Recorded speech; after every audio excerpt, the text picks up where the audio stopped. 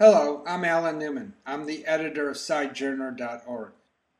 And in this video, I'm going to discuss pitching. On most newspapers and magazines, an article begins by a reporter pitching a story idea to the editor.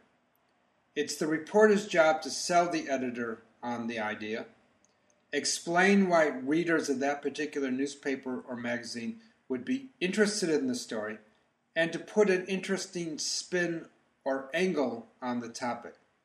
For example, a story on why tennis ball cans pop when you open them is really a article on differential pressure.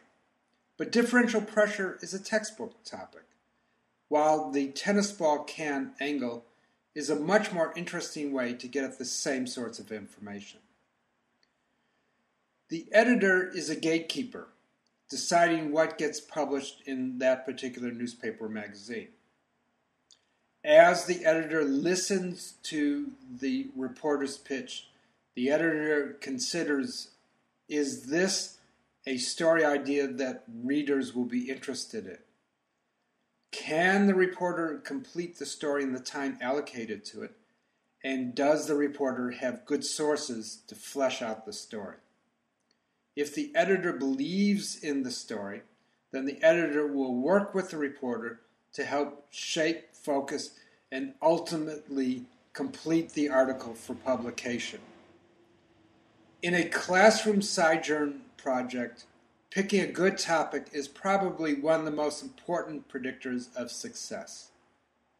In that vein, the SciJourn guideline, the topic should be narrow, focused, local, personal, and up to date is a good filter.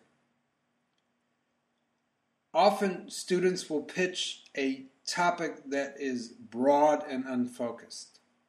When I ask why are they interested in that particular topic, a personal connection will pop up.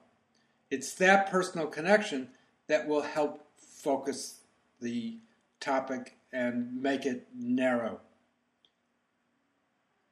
I find pitching a lot of fun because it's a chance for students to talk about how science affects them personally, to engage in some pretty interesting science discussions, and to learn something both about the students and about yourself in terms of science.